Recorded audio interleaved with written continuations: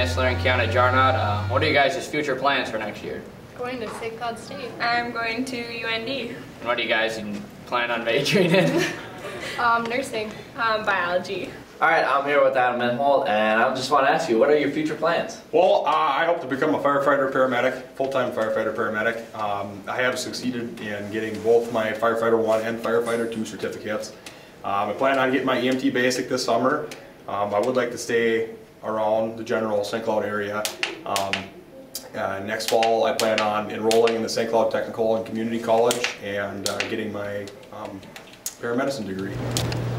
All right, here we have Roberto, and uh, what are your future plans after high school? Uh, go to technical college for welding. Hello, hello, Amanda and Molly. What are your guys' future plans?